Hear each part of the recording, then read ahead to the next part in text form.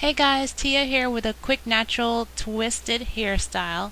Um, this is reminiscent of, uh, let's see, the ponytail, I guess, a cascading ponytail. It's really simple and it's pretty quick. I ended up making it be a little bit longer because of my, um, what do you call it, pompadour situation. I didn't have enough definition in the front, but I'll show you what I did.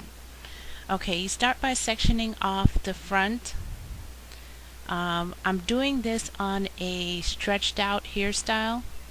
I don't know how it will work on straight up coils, but if you have a stretched out um, or old flat iron or even a blowout, this would do really good. All I have in my hair is my usual castor oil mixed with aloe vera gel so that allows me to have the definition and still have the pliability. It's very soft and okay, I'm gonna have to let y'all know. I did a lot of dancing in, in this video and I apologize for that, but I was playing Beyonce's We Like to Party and y'all know that's the jam and so I couldn't even help it, but okay, sorry about that though. Back to the tutorial. So we've got the bang sectioned off, we've got um, one, two, two horizontal parts which lead to three sections in the back, you'll see. So I sectioned off the top portion of that and now I'm sectioning off the middle portion of that. I lined up the second one, the second portion with the first portion. Um, they're di it's directly under the, the first portion. And I'm using like some old stretched out, um, I mean some stretched headbands instead of the actual ponytail holders. They give me a lot more room and stretchability and cause less damage that I find. Okay, and um, the hair has a lot of definition. It's very soft because of the aloe vera gel and the castor oil mix, so I'm able to do pretty much whatever I want with it, and it gave me a good stretch.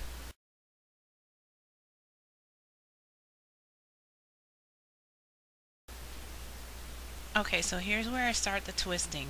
I'm going into that middle section. You could start at whichever section you want. Work with here that is not dry. I'm uh, there. I spritzed some aloe vera gel and castor oil on my ends, and that way, when I went to separate, I wasn't ripping the ends off. So, um, how many twists should you do? It's up to you. I wanted mine to look kind of fat and bubbly if that makes any sense. So I only did three. Plus, remember, this is supposed to be a quick style, so I only did three. One of the things that I didn't do that I should have done in this was kind of um, fatten up the twist. After I did the twist, I was supposed to go through and kind of pull them apart a little bit so that they were more full and a little bit sloppy looking. These look really, you know, neat. The style calls for it to be a little bit fatter so that it'll cover up any spaces and just look really, you know, chunky. But, so you can do that when you do this style. I used some bobby pins to kind of line up the twist. I didn't show you guys when I twisted up that top section. I didn't want to bore you. It's the same thing. I did about three twists in the top section, three twists in the middle section, and here I am twisting up the bottom section, keeping it moist while I'm doing my separation. And I did add some um, shea butter of my shea butter mixture that I was on a stretch, y'all. I was trying to stretch this style out for the next day as well because I did take it down the next day to go out and it was super stretched and really soft and pliable because all I had in it was the aloe vera gel mixed with the castor oil and then some of this shea butter um, mango butter mix that I did. Okay, so here I am twisting up the last of the ends. And just a quick note about the castor oil aloe vera gel mix. It didn't hold down my sides like super clean like the Eco Styler gel would, but it, it held its own. It slicked back my flyaways and um, on the good side of it is when I took down my hair the next day to wear it out, you know, I didn't have to deal with any crunchy hair and stuff like that. So that was that was really good. That's something to consider when you're doing styling.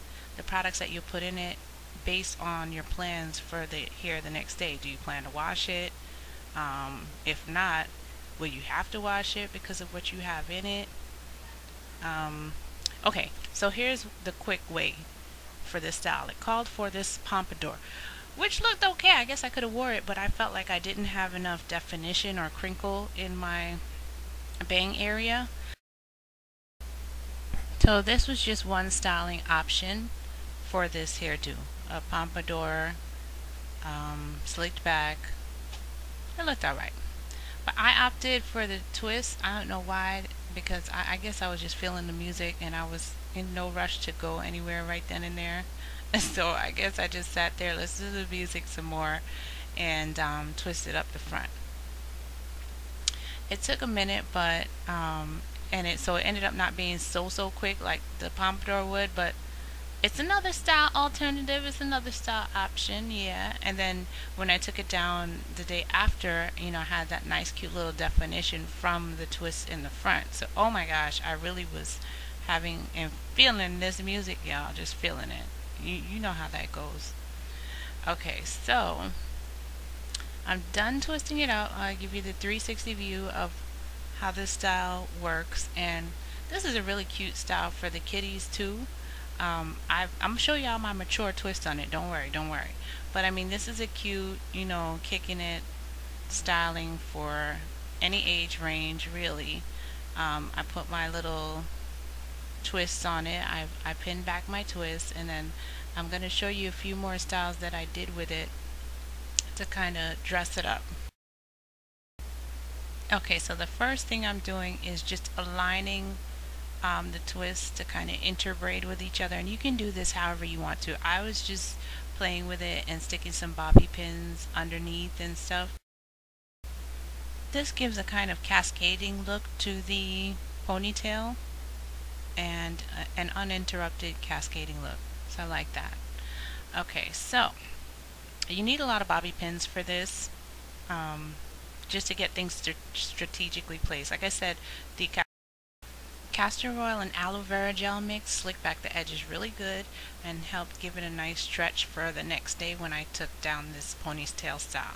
Again, you can wear this for a few days. This is um, easily maintained. Okay, here I am on to the next style which is um, kind of doing a little chignon with it, pinning up the ends. And this is a really good protective styling. Everything's tucked in, everything's tucked under. I know um, mine, I kind of had the the bottom section off to the veered off to the side a little bit which gave my chignon kind of like a slanted look which I didn't mind that was something different I like it different and this is what I was talking about messing with your twists or, or braids to kind of make them look a little bit meatier and less uniform and less you know tailored I, that's a different look it's something you could play with and see the difference that it makes in this style Okay, so I'm putting it back down to the cascading because that's that's how I wore it for that day and I enjoyed it. It gave me a nice stretch. It held moisture really well and I had fun with it. I hope you guys liked it. We thank you for watching beautiful and we'll see you in the next video. Bye.